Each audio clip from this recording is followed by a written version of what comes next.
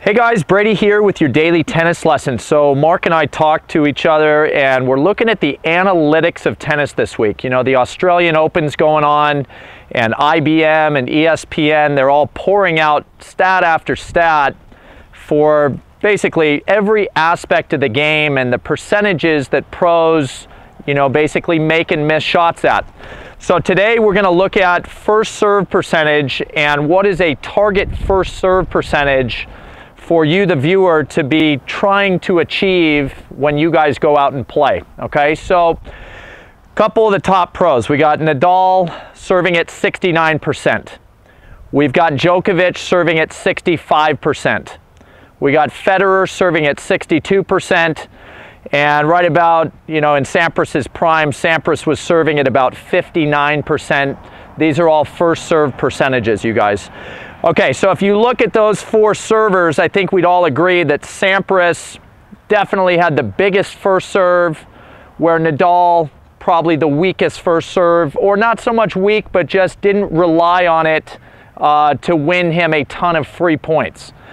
All right, but I think this 10% window from about 60% where Sampras is to about 70% where Nadal is, is a really good 10% window for you guys out there to be trying to target on your first serve percentage.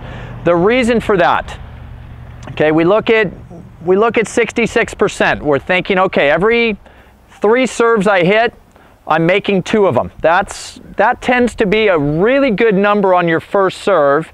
And the reason being, if you guys say are up there in the 80 percentage range for first serves, there's a very good chance you're not giving the serve enough. You're almost being too consistent that that first serve is not doing any damage to your opponent. All right, and then the flip side of that is let's say I just think that I need the biggest first serve at the club and I'm going out and I'm making 45% of my first serves. The issue there is now that when I do miss more than half of those first serves, you know, a decent opponent that's seeing a ton of second serves inevitably is going to do a lot of damage to you as the server when they're getting so many looks at your second serve.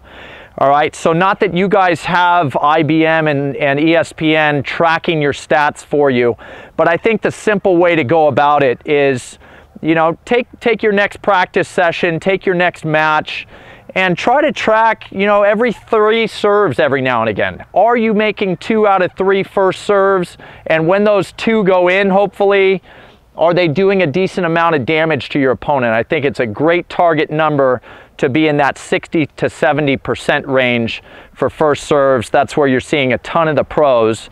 Um, the one guy, if any of you guys were going to write me back and say, well, what about John Isner?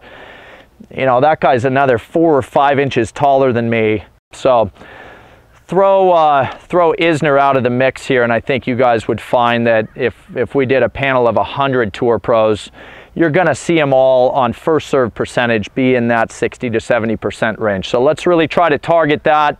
Um, in the next couple hits you guys have, I think you'll be really happy with the results, okay?